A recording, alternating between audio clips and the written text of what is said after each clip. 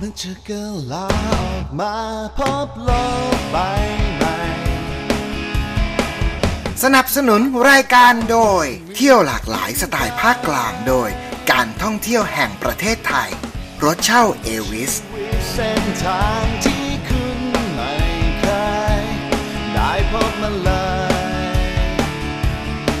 อนนี้เรามาถึงที่วัดถ้ำเสือแล้วคุณผู้ชมนะเป็นวัดที่สวยใหญ่อลังการมากมากเลยเรามาเที่ยวแล้วเราก็ต้องมากราบพระเอาบารมีของท่านมาประดับอยู่ที่ตัวเรานะครับมีทางขึ้น 2 ทาง ระหว่างทางบันได 157 ขั้น ความเอียงเฉลี่ย 45-60 องศาแต่อีกด้านหนึ่งครับ คนสูงอายุฮะ ก็ขึ้นรถรางครับ ใช้ บริการคนละ 10 บาท แต่ถ้าขึ้นบันไดฟรีครับ ชิลสบายฮะ แค่ 157 ขั้น แต่วันนี้ขอรถรางดีกว่า เซฟแรงไว้ก่อนนะฮะ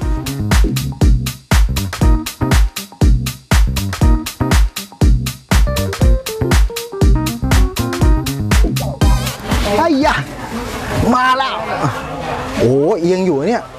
เตรียมพร้อมฮะ จริงๆมาเที่ยววัดที่ก็เหมือนว่าสวนสนุกเลยสำหรับผมนะ เออแต่ว่า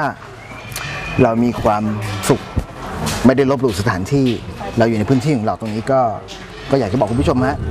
อย่างไรก็ตามมาเที่ยวแบบนี้ฮะเมืองกาญจนบุรีแล้วทำให้เราได้มีความสึกว่าเราได้พบกับ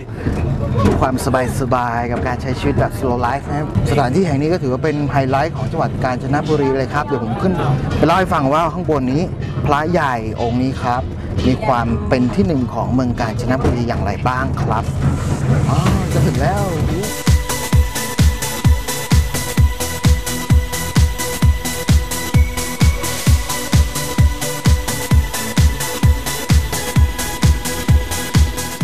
ขึ้นมาบนนี้ฮะจะทำให้เราได้เห็นวิวทิวทัศน์ของแม่น้ำแม่กลองอย่างสวยงามมาก ๆ เลย จะไปกราบสักการะหลวงพ่อโตหลวงพ่อใหญ่กันไปตามมา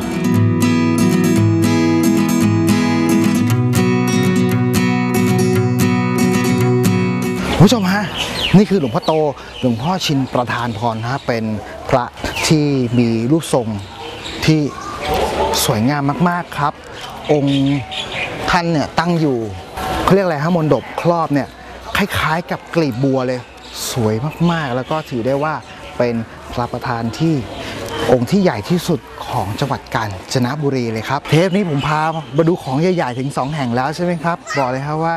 แค่นี้ ยังไม่จบยังไม่พอเดี๋ยวพาไปเที่ยวต่อ แต่ก่อนที่เราจะเดินทางเราต้องกราบเอาสิ่งศักดิ์สิทธิ์มาประทับอยู่ตัวเรานะครับ แล้วเดี๋ยวพาไปชมวิวมุมสูงครับ ทุกๆ คนสามารถที่จะเดินขึ้นไปที่เจดีย์แห่งนี้ครับ ซึ่งบนยอดเจดีย์นั้นก็ประดิษฐานพระบรมสารีริกธาตุให้ทุกคนได้ไปกราบสักการะด้วยเช่นกันครับในขณะเดียวกัน ก็สามารถชมวิวมุมสูงขององค์หลวงพ่อองค์นี้ด้วยนะครับ เดี๋ยวเราไปเที่ยวกันต่อนะจ๊ะ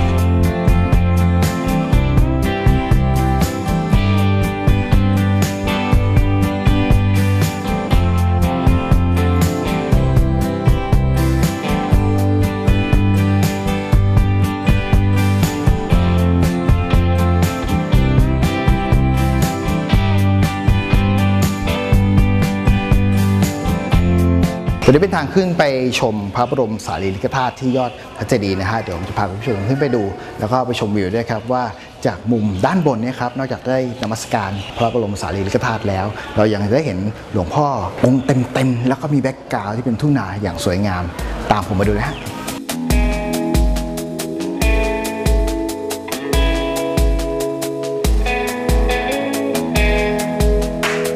ในพระเจดีย์ฮะ เราจะเห็นจิตรกรรมฝาผนังเยอะแยะเลยเล่าเรื่องราวเกี่ยวกับจังหวัดกาญจนบุรี แล้วก็เรื่องของพุทธประวัติครับอันนี่ก็เห็นพี่เขากำลังวาดจิตรกรรมฝาผนัง ซึ่งอยู่บนเพดานนะฮะก็เป็นเรื่องราวของสงครามก้าวทัพหรือช่วงที่มียุทธหัตถีหรือช่วงที่ทางพม่านะครับเข้ามาเอ่อทำสงครามกับไทยหรือสยามในสมัยก่อนก็มีช้าง มีพลทหารมากมาย ครับแล้วก็มีช่องเขาซึ่งเป็นเส้นทางที่จะเข้ามาหรือไปทำยุทธสงครามซึ่งกันและกัน ซึ่งนั่นก็คือประวัติศาสตร์ ถือว่าเป็นสถานที่เป็นแหล่งเรียนรู้ที่ดีแห่งหนึ่ง ของจังหวัดกาญจนบุรี และก็ของประเทศไทยด้วยครับ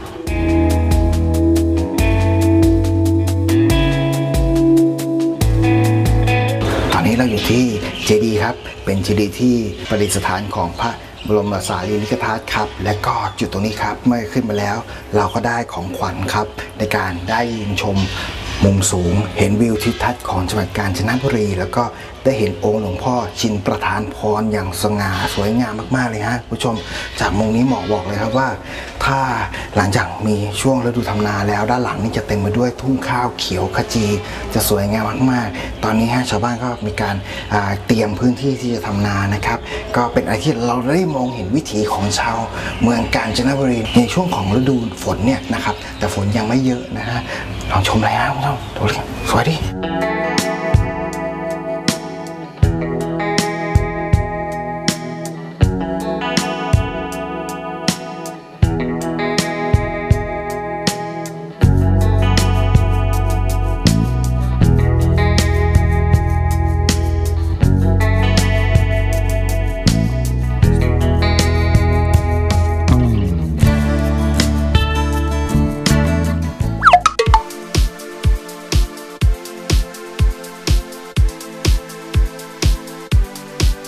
สวัสดีครับ ผมนายกระชัดสุนทรทยาเป็นกรรมการผู้จัดการสวนไทรโยครีสอร์ทพื้นที่ตรงนี้นะครับเป็นพื้นที่ที่รีสอร์ทของเราเนี่ยได้สรรสร้างมาตั้งแต่เปิดดำเนินการ 32 ปีแล้วนะครับติดกับบริเวณที่เป็นสถานที่ประวัติศาสตร์ที่สำคัญคือสะพานถ้ำกระแสนะครับเป็นสะพานไม้ที่สร้างเลาะเลียบลำน้ำแควน้อย ยาวกว่า 500 เมตร และใช้เวลาในการก่อสร้างถึง 17 วัน เป็นจุดที่เป็นไฮไลท์ของเส้นทางรถไฟสายมรณะเส้นทางนี้นะครับตัวรีสอร์ทของเราเนี่ยนอกจากมีสิ่งอำนวยความสะดวกทางเรื่องห้องพักนะครับผมเรายังมีเรื่องของกิจกรรม adventure นะครับเช่นรถ ATV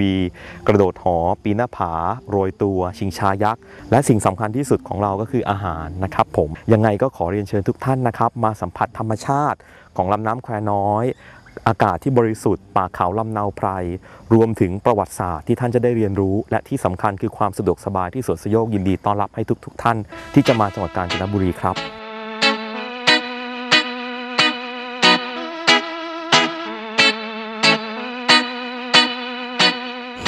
คุณผู้ชมฮะค่ำนี้เรานอนนี่เราอยู่ที่สวนสายโยกรีสอร์ทครับจังหวัดกาญจนบุรี ข้างๆ เรานี่ก็คือแม่น้ำแควข้างหลังผมทางด้านซ้ายมือนะครับ นี่คือสะพานรถไฟโมรณะฮะเราอยู่ติดกับธรรมชาติที่สวยงาม ติดกับพื้นที่แห่งประวัติศาสตร์ แล้วก็มีอาหารที่ถือว่าอร่อยมากๆกับบรรยากาศแบบนี้บอกเลยฮะว่า นี่คือวันหยุดที่มีความสุข กับการเดินทางแบบช้าๆของพวกเราครับ บอกเลยฮะว่ามาเดินทางแบบนี้ครับ จริงๆแล้วเราดีไซน์กันได้ไม่ยากเลยครับ เพียงแต่ต้องหาเวลานะแต่ละคนบอกว่าเวลาไม่มีเลย ก็ต้องดีไซน์ฮะต้องวางแผนล่วงหน้าครับแต่ที่แน่ฮะบนโต๊ะข้างหน้าเราครับ เมนู signature ของที่นี่ครับนี่ครับไข่เจียวล้นจานเขาบอกว่าเมนูเนี้ยข้ามคืนก็ไม่หด โอ้โหแน่นมากเลยอะ นะ ผมจะต้องชิมหน่อย เป็นเมนูพื้นฐานเมนูง่าย ๆ ที่บอกว่า เอ๊ะทำไมต้องกินหรอ ที่อื่นก็มีผมไม่รู้ล่ะ มาที่นี่จริงๆ ก็เป็นอาหารที่บอกของโปรดของทุกๆ คนเลยนะผมเชื่อวุ้ยเนื้อแน่นมากเลยครับคุณผู้ชมอืม เดี๋ยวเบรกหน้าคุณผู้ชมฮะผมพาคุณผู้ชมไปเที่ยวอีกครับ รับรองครับว่าคุณผู้ชมจะต้องบอกว่ามันน่ารักมาก เอ๊ยยังไงน่ารัก แล้วอายุเยอะด้วยเห็นไหมที่สุดของเมืองการอีกแล้วที่นี่มีครับ